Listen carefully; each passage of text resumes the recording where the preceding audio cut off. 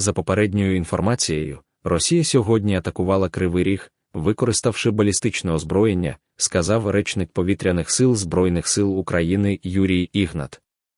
Скоріш за все, це була балістика, за попередніми даними. Ви знаєте, наскільки балістичне озброєння небезпечне, як швидко може прилітати, і наскільки є руйнівним.